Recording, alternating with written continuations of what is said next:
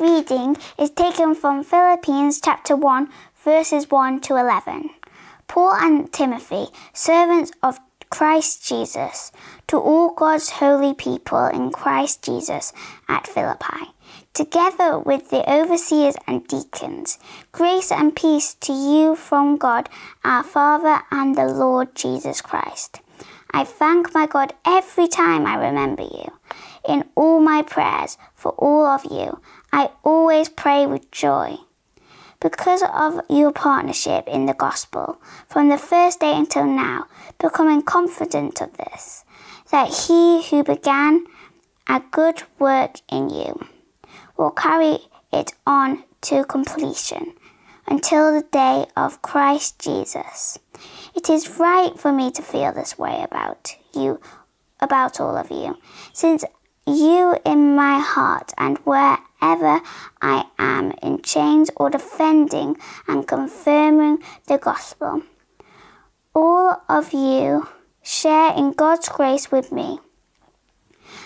God can, can testify how I long for all of you with the affection of Christ Jesus. And this is my prayer that all your love may abound more and more in knowledge and depth of insight, so that you may be able to discern what is best, and may be pure and blameless for the day of Christ, filled with the fruit of righteousness that comes through Jesus Christ, to the glory and praise of God.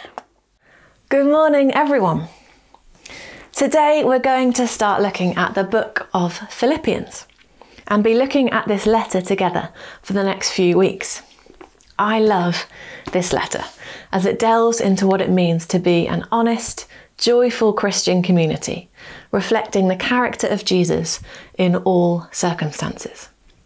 It might be helpful to have Philippians open in front of you as we read.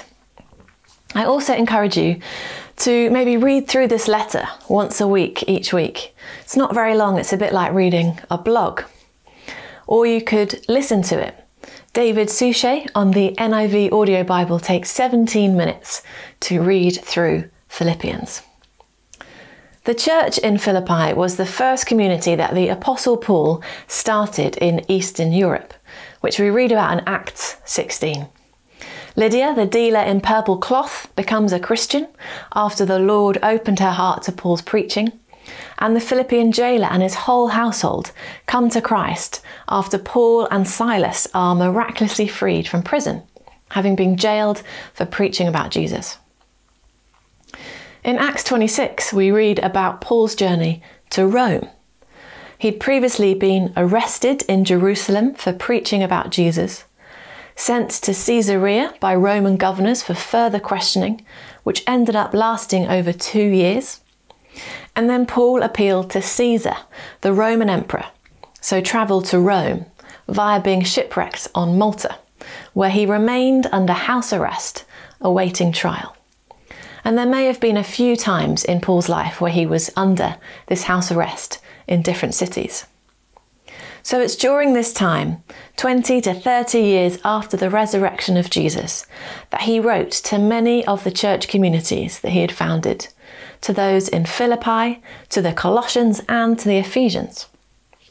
In the letter to the Philippians, we realise that Paul is responding to a care package that the church in Philippi had sent with a man called Epaphroditus, mentioned twice in the letter. In fact, Epaphroditus became ill and nearly died whilst he was with Paul. So Paul is especially keen to send him back to bring joy to the Philippian church.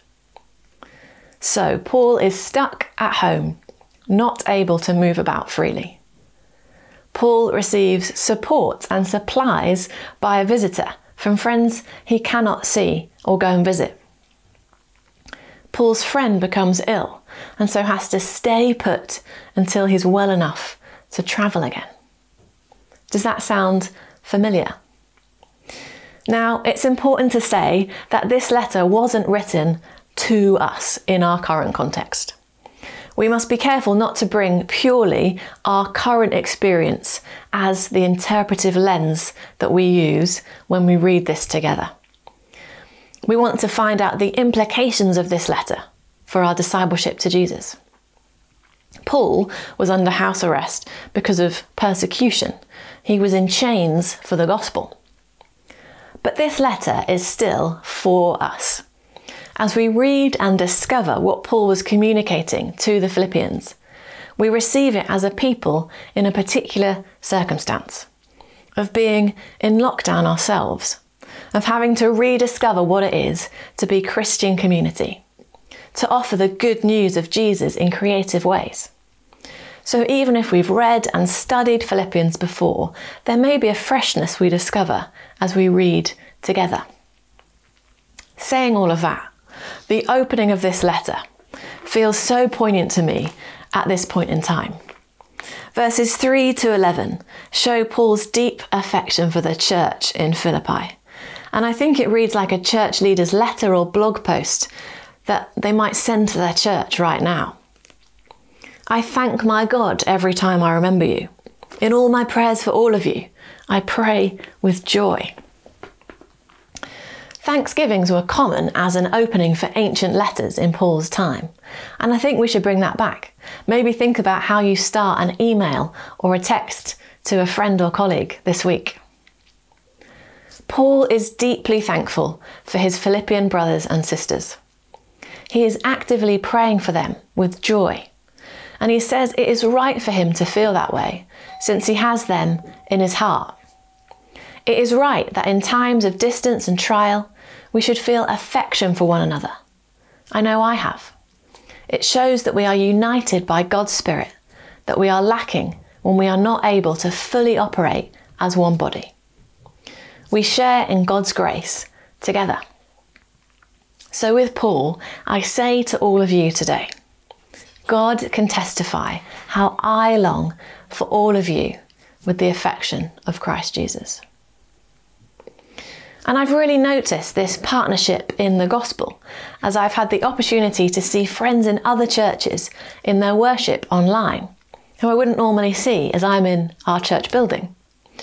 Not just the really big churches that you might expect it of or with particular resources, but local churches going online for the first time. It struck me that although we often think of partnership as joining in on specific projects, and the letter does refer to financial support as well. It's also about having a generous spirit of encouragement towards one another as we all seek to share the good news of Jesus wherever we are. Our partnership in the gospel is rooted in the Holy Spirit dwelling in God's church. And I found myself in these times cheering on my brothers and sisters with renewed enthusiasm remembering our frontline sermon from last year, I pray that those of you in work, whether at home or on the front lines today, that you know that you're partners in the gospel. Those of you at home looking after children, you are partners in the gospel. Those of you who are having to shield because of health reasons, maybe all you can do at the minute or all you feel like you can do is pray, but you are partnering in the gospel even while at home. This week, I spoke to a couple of church leaders in Leeds to explore this theme of partnership. The whole interview can be found on our YouTube channel. After the video, we'll hear a chorus of a song that we can use to pray for our brothers and sisters that we partner with in Christ. You might want to use verses 9 to 11 of this chapter. Then we'll come back and look at the second half of chapter one. Thank you so much, uh, Rich and Alison, for joining me on Zoom today. This is very exciting. Um, so, uh, you guys have met today on Zoom. So, Rich is one of the pastors at uh, Mosaic Church in Leeds, and Alison is the vicar of um, Adel. And so, we've all been uh, just sharing a little bit about what we've been doing in this time, how we've been responding, and how we, although we're not directly in contact with each other all the time, how we feel this uh, sense of partnership in the gospel, and we want to encourage that uh, today, particularly as I've been thinking about that in Philippians chapter 1. Um, so, Rich, how has it been at Mosaic and how have you sort of been responding to this time? How's it been for you guys? Yeah, um, I mean, it's the word that seems to be categorizing these times is strange, isn't it? And uh, it definitely feels like that. It definitely feels very strange.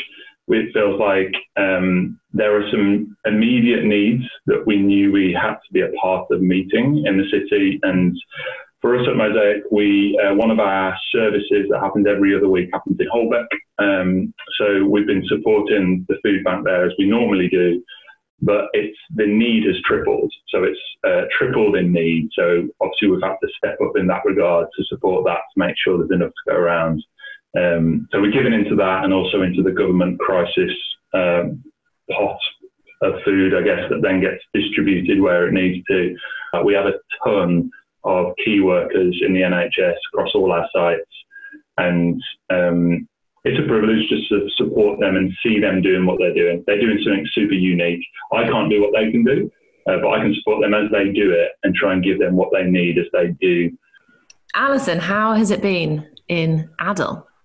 Um, well, I'm feeling slightly, not exactly, uh, slightly inspired by Alpha on Zoom because that's something I need to move into. Um, we, have got a very mixed congregation, but uh, as you would expect in this sort of church a fair number of elderly people. So there's been a lot of bullying of people onto Facebook uh, because we already had a Facebook group, so we decided to direct everything to Facebook as being fairly easy to get onto. Um, so it's been a huge learning curve for me. I don't even do photos usually, never mind um, online services, but we've uh, been trying to put on at least some of the traditional services we would put on. And one lovely thing, which is nothing to do with me, has been young families writing to elderly on their own. Uh, members of church and mm. parishioners, and that's been lovely. And they're all saying, oh, Well, when we get back to church, you can introduce us and we'll know who these people are. So that, that's been very good. I think people are up for a challenge because these are such strange times. Whereas it might have taken much longer to talk them into standing in front and leading a service.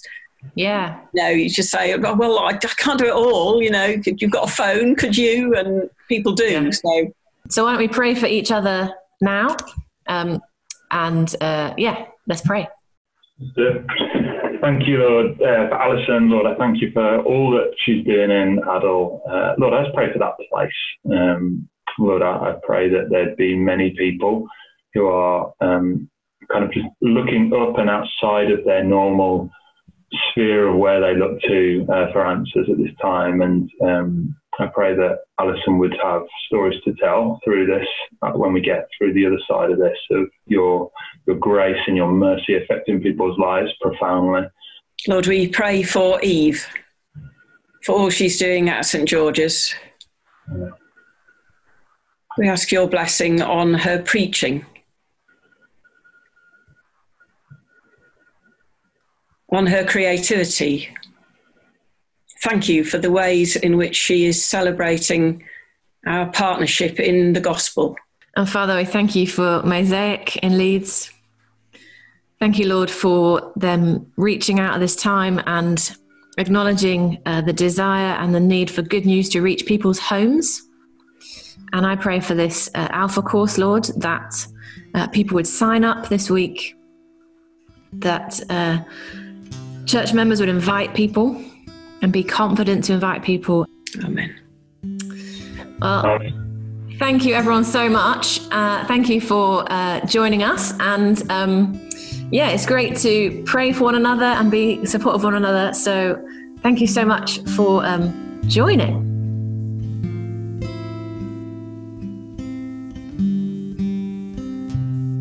So take my life, let it be everything, all of me. Here I am, use me for your glory. In everything I say and do, let my life honor you. Here I am, living for your glory. So take my life, let it be everything, all of me. Here I am Use me for your glory. In everything I say and do, let my life honor you. Here I am, living for your glory.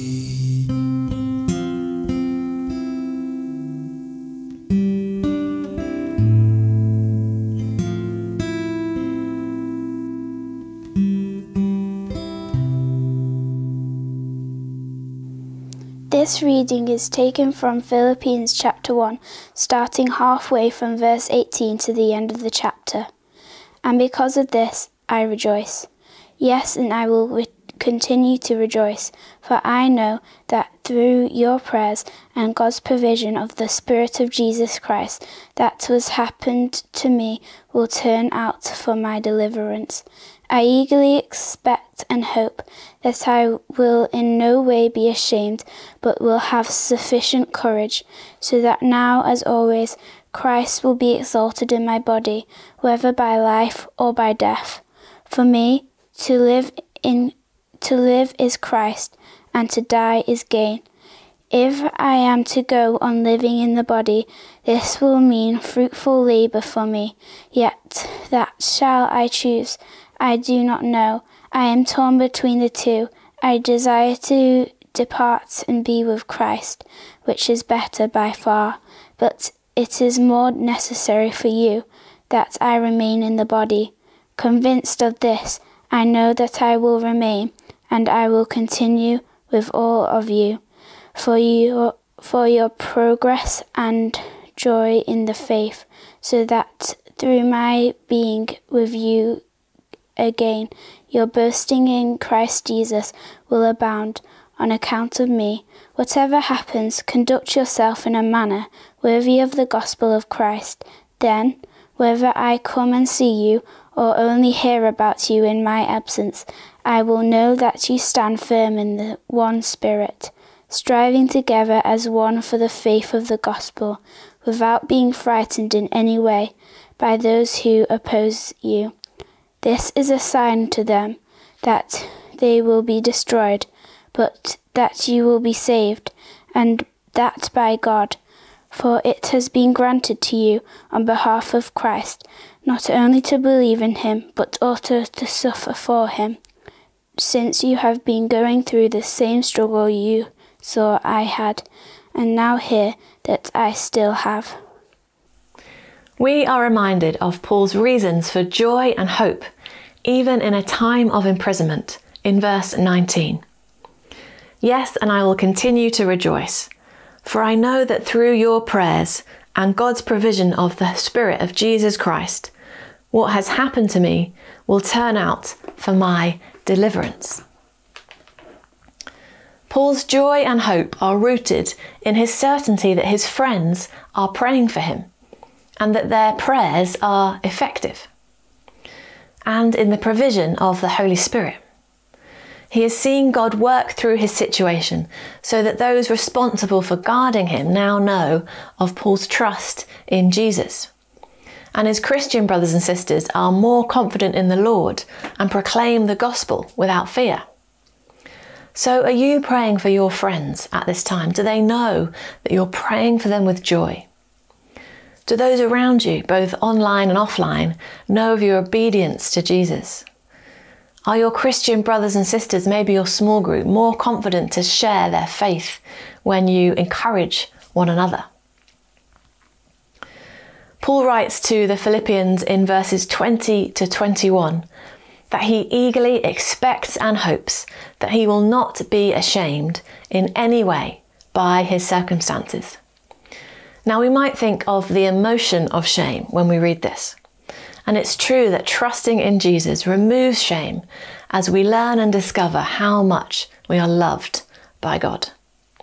But in the biblical world, shame has more of a sense of not being brought into public discredit.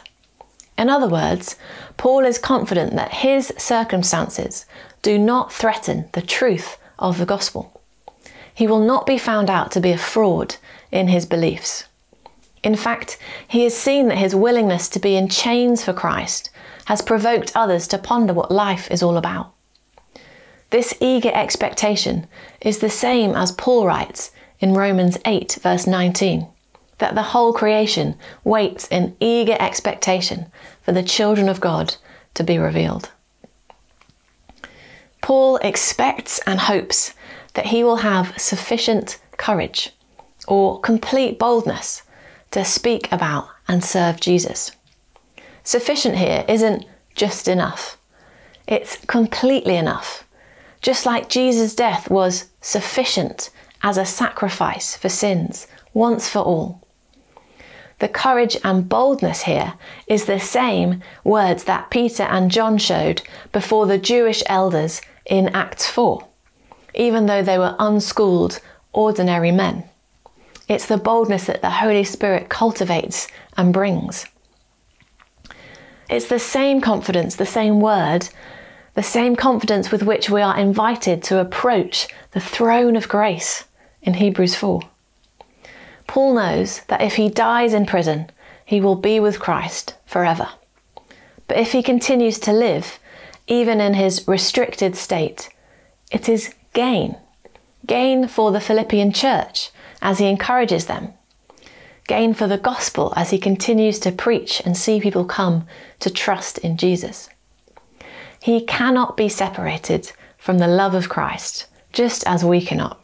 So he's simply seeking God's purposes for himself in his situation, knowing that either way, God may be glorified. In this unsettling time that we're living in, we may find ourselves questioning God or concern that our Christian faith makes no difference to our lives. And it's okay to question, it's right and good. And it's okay to bring our concerns, our lament, our pain to God. He cares for us and He walks alongside us. The world is not as it should be. That's why we pray, Your will be done on earth as in heaven, as Jesus taught us.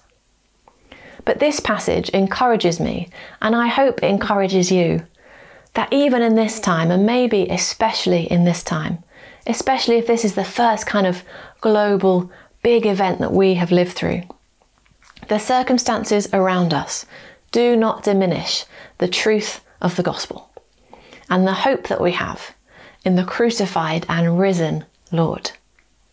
We will not be ashamed our current circumstances, in fact, urge us to proclaim afresh the hope we have in Jesus in life and in death through our words, actions, and attitudes. More people than ever are searching for meaning and purpose in this time when their supposed securities in the world have been stripped away. As Christians, we have an inheritance and a hope that can never perish, spoil, or fade. And maybe today you're joining in with worship for the first time, or you've joined in online and haven't been to a physical gathering. If that's you, then you're so welcome. And I encourage you to commit your life to Jesus, the one who's made it possible to live with real, honest hope and joy forever, in right relationship with your Father in heaven, your Creator who loves you. Maybe you do follow Jesus, but you want to recommit today to ask God for that courage and boldness that the first disciples had as you live for Him. Finally, in this chapter, I've been encouraged by verse 27. Whatever happens, conduct yourselves in a manner worthy of the gospel of Christ. We are always and primarily called to live as free citizens of heaven, in whatever circumstance or context we find ourselves in, whatever happens. And there is a freedom and an expanse here that covers all situations.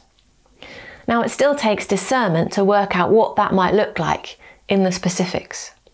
But the call is always the same to love God with our hearts, soul, mind, and strength, and our neighbours as ourselves. So, right now, that might look like staying two metres away from people, from only going shopping when we need to, to making sure that we're calling up our loved ones, our neighbours who need encouragement. It means to have Jesus as Lord, number one in our lives, to speak about and demonstrate his kingdom in the world, to make disciples, to serve the poor and protect the vulnerable, to turn the world upside down, ushering in God's peace and justice. Paul speaks in a similar way to the Corinthians and the Colossians, talking about food laws and about living in Christian community. We are ambassadors for Jesus, his representatives, and we all have a part to play to bring God glory in the world. Now, there may be consequences to our comfort as we represent Christ, or suffering for him, as Paul puts it. But we can uphold one another in that standing firm in the one Spirit, we strive together as one for the faith of the gospel. So, that's Philippians chapter 1. And I hope you feel encouraged. I hope you feel a longing for your brothers and sisters in Christ and a longing for the day when we can embrace and we can gather together physically. I hope you feel assured of the truth of the gospel in these times. And if you don't yet follow Jesus, I hope you'll follow along with us in this letter of joy and hope and consider putting your trust in the God who loves you, who sent his one and only Son to die for you to bring forgiveness, and who invites you even now to live your life for the glory of God.